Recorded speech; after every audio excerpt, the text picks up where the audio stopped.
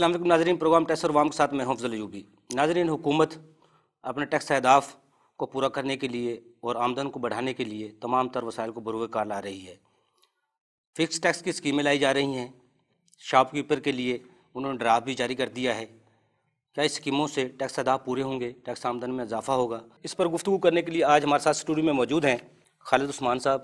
آپ executive committee کے ممبر ہیں، لاہور چیمبر آف کامرس کے اور پروگریسو گروپ کے بھی صدر ہیں۔ ان کے ساتھ موجود ہیں۔ علیم احمد صاحب، آپ کا تعلق فاؤنڈر گروپ سے ہے اور آپ سی او ہیں اوسس پیکنگ انڈسٹری کے۔ ان کے ساتھ موجود ہیں مامون نثار صاحب، آپ ایڈوکیٹ ہائی کورٹ بھی ہیں اور ٹیکس ماہر امور بھی ہیں۔ خالد عثمان صاحب، آپ کا چیمبر سے تعلق ہے۔ پونے دو سال ہو گئے حکومت کے آئے ہوئے۔ تو آپ حکومت کی معاشی پالیسیوں سے کہاں تک اتفاق کرتے ہیں اور کیا سمجھتے ہیں؟ موجود حالات میں حکومت کس طرح اپنی آمدن کو بڑھا سکتی ہے کہ اسکیموں کے ذریعے کے اور بھی کوئی رستے ہیں؟ دیکھیے آپ کا سوال تو بڑا مشکل سا ہے لیکن بہرحال میں اس کا جواب دینے کی کوشش کروں گا آپ کو۔ لیکن جہاں تک معاملہ اس حکومت کا تو کچھ اس حکومت نے کچھ چیزیں پیچھے سے انہیرٹ کی ہیں۔ جی۔ ٹھیک ہے نا؟ میں اگر اس کو مجموعی صورتحال کی بات کروں پاکستان کی اکانومی تو پاکستان کی اکانومی پچھلے چار پانچ سال سے ہم یہ بات پہلے سے کہہ رہے تھے جی۔ کہ جب سی پیک کی ادائیگیاں آئیں گی جی، جی۔ جب ہمیں یہ جو ہم قرض لے رہے ہیں دنیا سے جب اس کی ادائیگیاں آئیں گی تو ہم بہت سخت مشکل کے اندر آ جائیں گے کیونکہ یہ سب کو نظر آ رہا تھا کہ پاکستان کی آمدن نہیں بڑھ رہی لیکن پاکستان کے جو قرض ہیں ان کا ڈھیر لگ رہا ہے ٹھیک ہے نا جی؟ لیکن جب آپ کی آمدن نہیں بڑھ رہی ہوتی تو ظاہر ہے آپ جو آمدن کماتے ہیں اس میں سے پہلے کچھ پیسے کھاتے ہیں اور کچھ پیسوں سے آپ قسط ادا کرتے ہیں۔ اب ہم ہماری آمدن سے زیادہ تو ہماری قسطیں ہو چکی تھیں ٹھیک ہے نا؟ اب ہمارے پاس کچھ نہیں تھا کچھ کرنے کے لیے. جی، جی۔ تو ایک تو ظاہر ہے اس طرح کے معاملات تھے. ضرورت اس بات کی تھی کہ پاکستان کی اکانومی کو ذرا ٹرن اراؤنڈ کیا جائے ڈفرنٹ طریقے سے اس کو سوچا جائے. جی جی. آپ نے جو اس میں ظاہر ہے کچھ چیزیں میں سمجھتا ہوں کہ بہتری ہیں کچھ چیزیں ایسی ہیں جو بظاہر تو مشکل نظر آئیں اور جن کو جھیلنا اتنا آسان کام نہیں تھا. جی، جی۔ کیونکہ اس پوائنٹ سے اگر ہم دیکھیں کہ بزنس کمیونٹی کا تو کوئی قصور نہیں ہے. جی، یہ غلطیاں تو حکومتوں کی تھی ٹھیک ہے نا؟ ظاہر ہے تاجر برادری تو ٹیکس دے رہی تھی۔ تو اب ہمارے لیے ایک نئی سچویشن تھی جس کے اندر ہم پھنس گئے تھے۔ لیکن میں سمجھتا ہوں کہ چلیں اب اس وقت اشاریہ کچھ تھوڑے سے پازیٹیو نظر آ رہے ہیں جی، جی۔ اور ہم اس خطرناک جگہ سے نکل کر جی، ہم کچھ تھوڑا بہت سٹیبلٹی کی طرف جا رہے ہیں۔ ابھی بہت کچھ کرنے کی ضرورت ہے۔ کہا جا رہا ہے سامنے معاشیت کو نکال لیا ہے میں کہہ سکتے ہیں کہ آپ کہ کم از کم ہم اب اتنے خطرے والی جگہ پہ نہیں ہیں لیکن ابھی بہت کچھ کر یہ سفر ابھی بہت لمبا ہے۔ ابھی بہت کچھ کرنے کی ضرورت ہے۔ ابھی آپ نے جو بات کی نا جی کہ چھوٹے تاجروں کے لیے جو فکس ٹیکس کا نظام ہے۔ دیکھیں یہ ایک بہت پرانا مطالبہ تھا۔ ہماری ٹریڈرز بھائی ہیں ان کی طرف سے ایک بہت پرانا آج سے نہیں ہے یہ بہت پرانا مطالبہ تھا۔ کیونکہ دیکھیں ان کے پاس ورک فورس اس طرح کی نہیں ہوتی۔ پڑھے لکھے لوگ ان کے پاس ان کی ان کی یہ پوزیشن نہیں ہوتی کہ ان کو امپلائی کر سکیں۔ جی، جی۔ وہ ٹیکس کے پیچیدہ نظاموں کو سمجھنا اس کے مطابق کرنا جی، ان کے لیے آسان کام نہیں تھا۔ تو ہمارا ایک بہت پرانا مطالبہ تھا کہ ان کے لیے آپ ایک فکس ٹیکس کے نظام لائیں آسان کریں۔ کیونکہ دیکھیں ٹرسٹ کا مسئلہ ہے۔ جو ٹریڈر ہے وہ یہ سمجھتا کہ جو ہے نا ٹیکس کٹھا کرنے والے چور ہیں۔ اور جو وہ ہیں وہ یہ سمجھتے ہیں کہ یہ ٹیکس چور ہیں۔ تو بیسیکلی پرابلم یہ ہے تو ضرورت اس بات کی تھی کوئی ایسا نظام لائے جس کے اوپر ٹرسٹ ڈیولپ ہو لوگوں کا۔ ٹھیک ہے اگر یہ فکس ٹیکس کی اسکیمیں آ جاتی ہیں جی۔ تو خالصہ بات سمجھتے ہیں کوئی یقین جو آ جائے گا تاجروں کو یا ایف بی آر کو ایک دوسرے کے اوپر؟ دیکھیں اس سے اس کا اچھا فائدہ یہ ہوگا جو سب سے اچھی بات یہ ہوگی جی، جی۔ کہ ایف بی آر کے جو جو ہے نا وہ ڈسکرشنری پاورس کسی جی، وہ ختم ہو جائیں گی۔ آپ وہ جو ڈرافٹ انہوں نے پرپوز ڈرافٹ دیا ہے اس میں انہوں نے کہا کہ اگر آپ فکس ٹیکس کے نظام کے اندر آئیں گے آپ اتنا ٹیکس پے کریں گے؟ آپ کے اوپر بس آپ کی ڈیڑھ سو فٹ کی دکان ہے اسکوائر فٹ کی یا تین سو تو آپ کے اوپر ایک فکس ٹیکس ہوگا۔ جی، جی۔ جب دے دیں گے تو وہ ایف بی آر آپ کو ایک اسٹیکر دے گا۔ جی، جو آپ اپنی دکان کے اوپر اوائزہ کر لیں گے کوئی ایف بی آر والا بندہ آپ کو تنگ نہیں کر سکے گا۔ تو کم از کم یہ ایک اس کے اندر ایک اعتماد کو بحال کرنے میں یہ کامیاب سکیمیں آپ کو نظر آ رہا ہوگی۔ علیم صاحب آپ پیکنگ سے آپ کا تعلق ہے نوجوان ہیں پڑھے لکھے ہیں کیونکہ تاجروں میں کہا جاتا ہے نا ان پڑھ زیادہ ہیں تو آپ تو ماشاء اللہ پڑھے لکھے نوجوان ہیں۔ آپ کیا سمجھتے ہیں جو سی این ایس سی کی پہلے شرائط لگائی گئی اب اسکیمیں بھی آ رہی ہیں۔ آپ کے پیکنگ کے بھی مسائل چلے تھے وہ پلاسٹک ان کے اوپر پابندی لگی تھی۔ اب کیا صورت حال ہے؟ آپ کس طرح دیکھ رہے ہیں؟ ہر دفعہ نئی پالیسی آتی ہے۔ جی جی۔ نئے مواقع ملتے ہیں رشوت کے یو نو غبن کرنے کے اور جو ہے لوگوں کو بلیک میل کرنے کے۔ ابھی بھی جو شناختی کارڈ کا جو پچاس ہزار روپے کی لمٹ لگائی ہوئی ہے۔ آج صبح میری ایک صاحب سے بات ہو رہی تھی تو وہ بتا رہے تھے جی ہم جب خریداری کرتے ہیں جا کے جی جی۔ آؤٹ سائڈ اور لاہور رہے ہیں وہ لاہور جب آتے ہیں خریداری کرنے کہ جی کبھی دو بل بنوا لیے کبھی تین بل بنوا لیے۔ رستے سے نکل آتے ہیں۔ تو جی، جی۔ بے تاشا رستے ہیں۔ جی، یہ وہی چیزیں ہوتی ہیں کہ نئے نئے آپ کو مواقع مل رہے ہوتے ہیں رشوتیں بڑھانے کے ریٹ بڑھانے کے۔ تو دوسری پالیسیز آنی چاہیے۔ اکراس دا بورڈ ہونا چاہیے۔ میں ایک جیسے فار ایگزامپل دنیا میں جو ہوتا ہے سافٹ منی پہ آپ چلے گئے۔ آپ بینکنگ چینلس کے تھرو آپ نوٹ ختم کر دیے جیسے چائنا ہے۔ جی جی۔ کرنسی نوٹ آپ جو ہے نان ایگزسٹنٹ ہے ساری جو ہے ڈیجیٹل پیمنٹ پہ آپ چلے گئے۔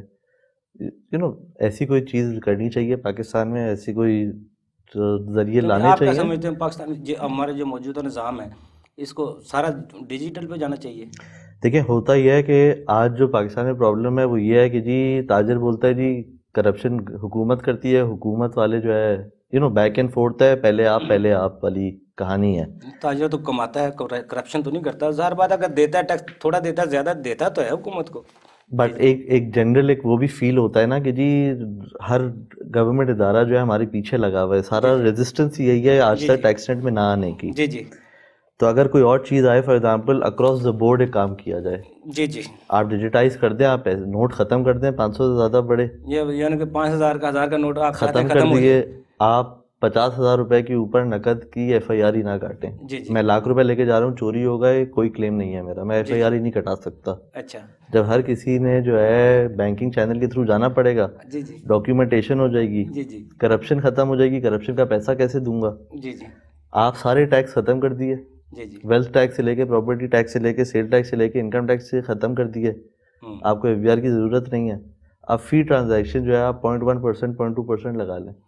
میں گارنٹی کرتا ہوں آج جو آپ کی ٹیکس کلیکشن ہے جی جی۔ آپ کی اس سے جو ہے دس گنا ہو جائے گی یعنی ٹیکس تمام کلیکشن ختم کر کے پرچیز ٹیکس وصول کر لیں۔ پرچیز ٹیکس نہیں ٹرانزیکشن ٹیکس میں اپنے بھائی کو ٹرانسفر کر رہا ہوں آپ اس پہ بھی لگائیے۔ جی۔ آپ ہر ٹرانزیکشن پہ آپ پوائنٹ ٹو پرسینٹ ٹیکس لگا دیے جی جی۔ آپ کو نہ ایف بی آر کی ضرورت نہ آپ کو ٹیکس مشینری کی ضرورت نہ آپ کو فائلنگ کی ضرورت ہر چیز ناممکن یہ دنیا میں ہو رہا ہے جی، ناممکن بات نہیں ہے۔ آپ چائنا میں جائیے کہ بھائی کرپشن کیوں نہیں ہے؟ وہ تو ماحول ٹیکس کلیکشن پہلے ماحول بنانا آپ بنائیے۔ کتنی دیر جی، لگتی ہے؟ جی جی نوٹ ختم کرنے میں ایک ایک اسٹیٹ بینک کی نوٹیفیکیشن جاری ہوتی ہے کہ جی چھ مہینے بعد نوٹ ختم ہو جائے گا۔ ردی ہو جائے گا۔ بالکل ٹھیک ہے مامون نثار صاحب علیم صاحب نے بہت اچھی پرپوزل دی ہیں۔ جو اب یہ شاپ کیپر کے لیے ڈرافٹ ہے اس کے بارے میں ہمارے ناظرین کو تھوڑا سا آگاہ کیجیے یہ کیا ہے اور کس طرح کامیاب ہوگا ایوب بھائی ایک تو آپ کا شکریہ شو میں مدعو کرنے کا۔ دوسرا یہ ہے کہ یہ دونوں ہمارے بزنس کمیونٹی کو ریپرزینٹ کر رہے ہیں بھائی بیٹھے ہوئے۔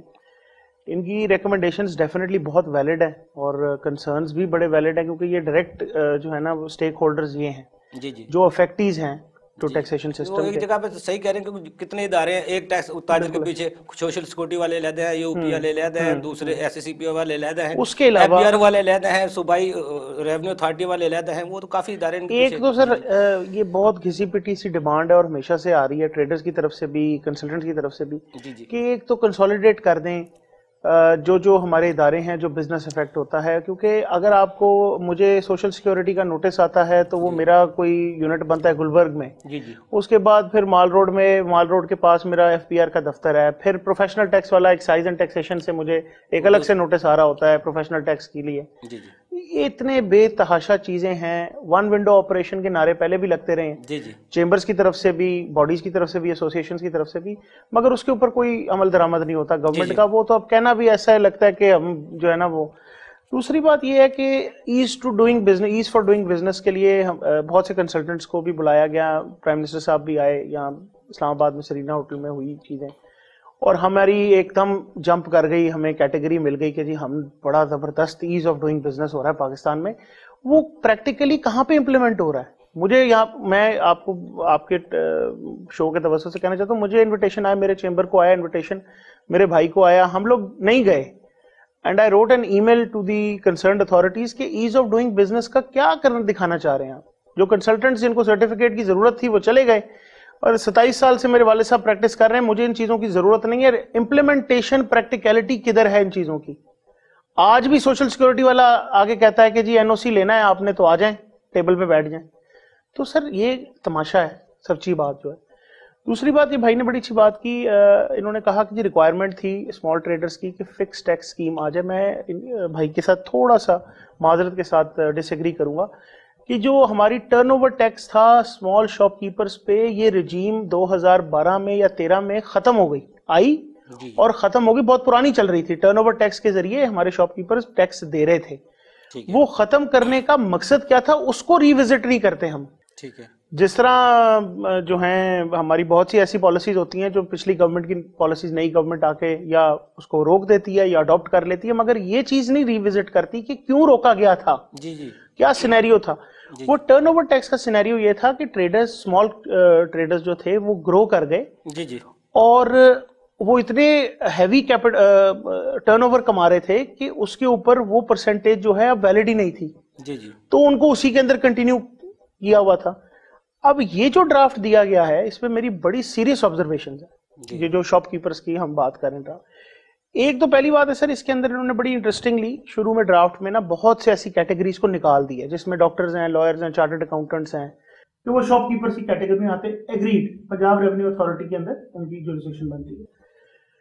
اس کے بعد انہوں نے ایک تو ان میں جو ہے وہ موٹی موٹی کیٹیگریز کو ڈیفرنشیٹ کر دیا اس کا تعین کون کرے گا؟ اس کی جوریڈکشن کا۔ ٹھیک ہے جی۔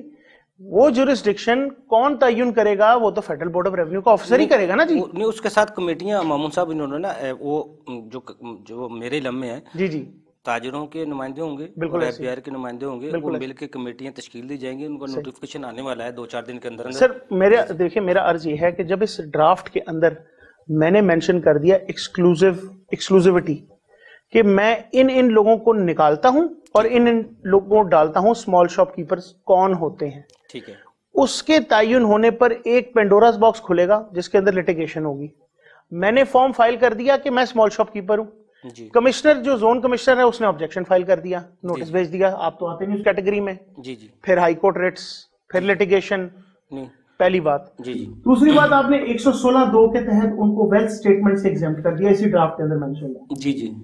جب آپ نے اس کو ویلتھ اسٹیٹمنٹ سے ایگزامٹ کر دیا اب اس کے نام پہ گاڑی آتی ہے اس کے نام پہ اس کے نام پہ کوئی گھر آتا ہے کوئی پراپرٹی آتی ہے کوئی اسمال شاپ کیپر کا مطلب یہ تو نہیں جی کہ وہ گاڑی اور گھر نہیں لے سکتا۔ جی جی۔ اگر وہ پانچ مرلے کا دس مرلے کا کوئی گھر لیتا ہے پراپرٹی لیتا ہے اس پہ وہ ٹرانزیکشن ٹیکس پے کرتا ہے ٹھیک ہے۔ تو وہ جو ٹیکس جب آئے گا ان کے پاس جی جی۔ تو یہاں تو ہمیں پتا ہے کس طرح کے بندے بیٹھے ہیں۔